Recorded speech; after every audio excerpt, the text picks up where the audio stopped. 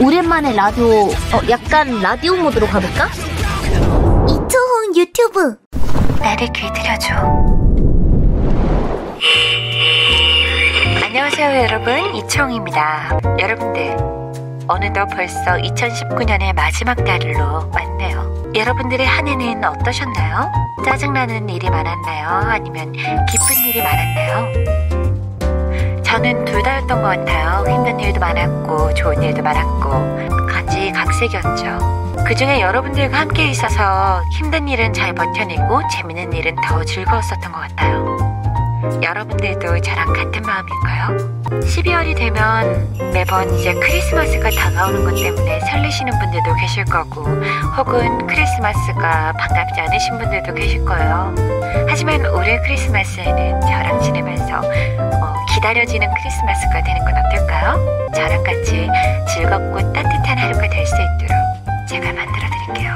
어, 여러분들, 어차피 25일은 매년 매년 오는데 굳이 여러분들의 소중한 시간을 잠으로만 때울 생각이신 건 아니죠? 그러지 말고 저랑 한번 뜨거운 크리스마스 보내시는 건 어떠세요? 어, 그러고 보니까 지금 벌써 커플들이 나다니고 있다 이런 이야기들도 나오고 있는데 커플분들은 뜨겁지만 한 번은 좀 차가운 하루 정도 있으셔야 되지 않을까 너무 뜨겁기만 하면 불타거든요 무슨 말인지 아시죠? 너무 뜨겁기만 하면 재미가 없어요 원래 인생이 굴곡이 있듯이 사람 관계도 강약이 있어야 되지 않을까요? 사실 여러분들이 생각하는 야디오는 별거 없어요. 그냥 여러분들하고 떠들면서 웃고 이렇게 지나가는 그 사이에 순간순간 나오는 그런 매운맛이 바로 야디오의 참맛이죠. 언제 나올지 모르면서 나왔을 때 어머! 하고 깜짝 놀라는 그런 게 바로 야디오예요. 애 배 먹어 배 때가 맛있단다 아, 배도 좋죠. 배 먹을 때 시원하게 아삭거리는 그 맛이 진짜 달달하게 들어오는 게 너무 좋지 않나요? 그렇게 생각하면 배를 조금 조금씩 아삭 아삭한 그 느낌을 느끼고 싶어서 천천히 입에 물어보고는 하죠. 꼭꼭 씹어 먹을 때 아삭함이 너무 기분이 좋더라고요. 귤이나 사과에 비해서 배는 큰 편이라 한 입에 넣기에는 좀 너무 크더라고요. 한 입에 먹기엔 너무 크니까 작게 잘라서 먹어야죠. 가끔 너무 큰 배를 한 입에 먹으면 입안에서 주룩하고서 즙이 내려올 때좀 당황스러울 때도 있고요. 어, 맞아요. 배즙은 뭔가 되게 맑은 느낌인데 막상 이게 마르기 시작하면 끈적여서 조금 불편해져요. 여러분들은 어떤 과일을 좋아하세요? 나는 새하얀 속살의 복숭아가 좋아요. 혹시 말랑한 복숭아 좋아하세요? 아니면 딱딱한 복숭아 좋아하세요? 둘 다 그 둘만의 매력이 따로 있는 건 있지만 저는 개인적으로 말랑한 복숭아가 좋더라고요. 속살이 말랑한 복숭아를 먹으면 한 입 베어 먹을 때 그 과즙이 톡 하고서 쭉 나오는 것도 좋고 입안에서 물컹물컹 잡히는 그 식감도 너무 좋았어요. 근데 적당하게 달달하고 새콤한 맛이 너무 좋더라고요. 복숭아의 딱딱한 복숭아는 무슨 맛으로 먹냐 라고 물으신다면 새콤하지만 씹었을 때 아삭아삭 씹히는 그 식감이 너무 좋아서 먹는 건데 그래도 약간 무르익은 복숭아가 좀 더 맛이 좋지 않았을까? 라는 생각이 좀 드네요. 아 미쳤다. 이 감성 성탄절 이브날 모닥불 피면서 라디오 듣는 감성이야. 핫초코 마렵다. 나도 나도 달달한 핫초코 마려워. 어, 저 대사를 해달라는 거죠? 나를 길들여줘. 가령 오후 4시에 네가 온다면 나는 3시부터 행복해지기 시작할 거야. 그러나 만일 네가 무턱대고 아무 때나 찾아오면 난 언제부터 마음의 준비를 해야 될지 모르니까 그런 거 싫었어요? 우리 시청자분들이 나 기다리느라 쩔쩔매는 모습 볼 때 너무 기쁘던데 혹시 좀 별로예요? 별로면 내가 좀 더 노력할게요 앞으로는 안 그러기로 괜찮아요? 우리가 늦게 올 테니까 포상 들라고? 아, 그치만 투수들이 늦게 오면 나는 힘이 없어지는걸 투수들이 있어야 내가 이렇게 힘이 날 수 있는데 늦게 오면 안 돼. 그러면 내가 힘이 없잖아. 그러니까 너희는 늦지 말아줘. 적당히 해라. 왜?